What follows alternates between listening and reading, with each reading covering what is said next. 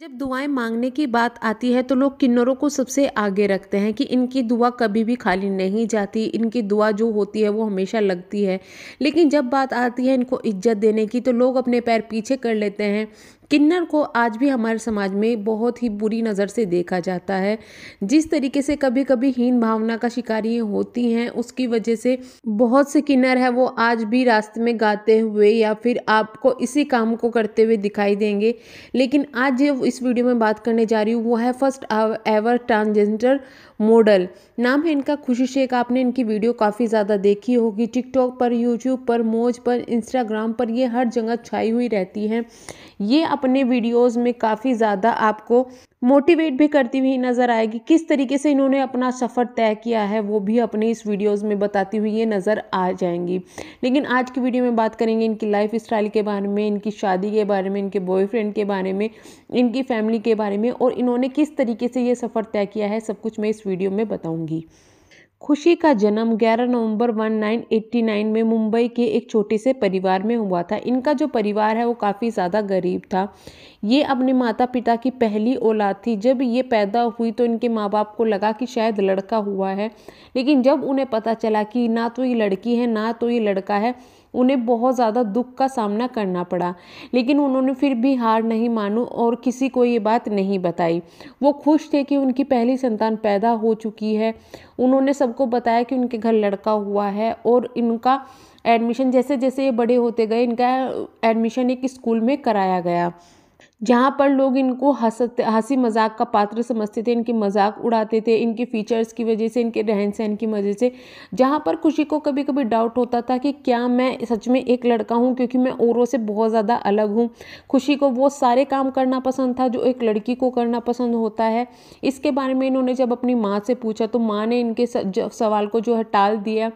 जब ये fifth class में थी तो इनको पता चला कि ये किन्नर है और ये समझ गए कि ये नॉर्मल लड़कों की तरह नहीं नहीं है। इनके लाइफ स्टाइल में थोड़ा बहुत चेंजेस आने शुरू हो गए, लेकिन वहाँ दूसरी तरफ़ हमने देखा कि लोगों को भी ये बातें पता चलनी शुरू हो गई कि ये एक, जो किन्नर है, उनको फैमिली में रख रहे हैं और उनको पाल रहे हैं। इसी वजह से इनके माँ बाप को भी काम मिलना बंद हो गया और इनके घर की स्थिति जो है वो बहुत ज़्यादा ख़राब हो गई। टेंथ तक की पढ़ाई करने के बाद में इन्होंने अपनी पढ़ाई जो है छोड़ दी और अपने पापा की मदद करने के लिए इन्होंने रास्ते पर भीख मांगना शुरू कर दिया। कभी इन्हें खाने के लिए कुछ मिल जाता था, कभी लोग इन्हें काफ़ी ज़्यादा बुरी तरीके से बिहेव करते थे, कभी इन्हें खाने पीने के लिए सब कुछ मिल जाता था, लेकिन एक दिन ऐसा आया जब ये रास्ते में भीख मांग रही थी तो इनकी मुलाकात सलमा खान से हुई, जो पहली लोक अदालत जज हैं। उन्होंने इन्हें भीख मांगते हुए रोते हुए रास्ते में देखा, ये वह उनके पास में गई और उनसे पूछा कि तुम यहाँ पर क्या कर रही हो? वहाँ पर खुशी ने अपनी सारी स्टोरी शर्मा को बताई। सलमा उन्हें लेकर अपने साथ में आ गई। वहाँ पर काफ़ी ज़्यादा किन्नर जो हैं वो रहते थे, उनको अपने साथ में लेकर मुंबई आ गई। साथ में इनके परिवार को भी लेकर आ गई। वहाँ इन्हें खाने पीने को, सब मिला, रहने को मिला। लेकिन सलमा वहाँ पर खुशी ने अपना गुरु सलमा सलमा को मान लिया और जिस तरीके से सलमा लोगों की मदद करती थी, खुशी ने ठान लिया कि मैं भी हार नहीं मानूँगी और इसी तरीके से एक दिन मैं ऐसा कुछ करूँगी कि मैं भी लोगों की मदद कर पाऊँ। वहीं से खुशी का जो स्ट्रगल है, वो शुरू हुआ। ये जाती थी अपने लोगों के साथ में दोसर की शादी में, वहाँ पर ये डांस करती थी। इनकी डांस की काफ़ी ज़्यादा तारीफ़ें होती थी। वहीं से इनकी वीडियोज़ वायरल शुरू हो गई। फिर इन्होंने टिकटॉक जब आया तो टिकटॉक ज्वाइन किया। वहाँ पर भी इन्हें काफ़ी शुरू में स्ट्रगल करना पड़ा, लेकिन अपने डांस के ज़रिए और हार ना मारने के कारण इनकी वीडियोस वायरल होना शुरू हो गई। साथ में इन्होंने इंस्टाग्राम यूट्यूब भी ज्वाइन किया, जहाँ पर जब टिकटॉक है वो बंद हो गया, लेकिन इंस्टाग्राम यूट्यूब और मोज पर इन्होंने इन्हें काफ़ी ज़्यादा फ़ेमस ये हो चुकी थी। इंस्टाग्राम पर इनके फॉलोवर है की संख्या है 1.2 मिलियन यूट्यूब पर 2.31 सब्सक्राइबर हैं इनके। मिलियन में और जो मोज है उसमें 5.4 मिलियन फॉलोवर्स हैं तो इनके काफ़ी ज़्यादा अच्छे फॉलोवर्स हैं।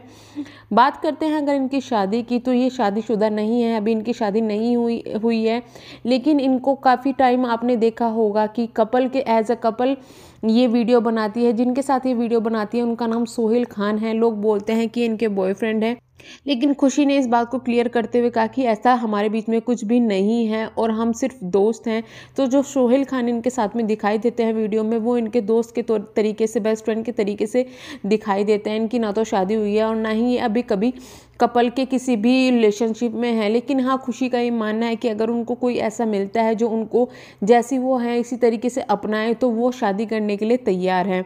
आपका क्या कहना है खुशी शेख के बारे में और इनकी स्टोरी आपको कैसी लगी? बताइएगा ज़रूर। मिलते हैं नेक्स्ट वीडियो में। तब तक के लिए bye bye thank you so much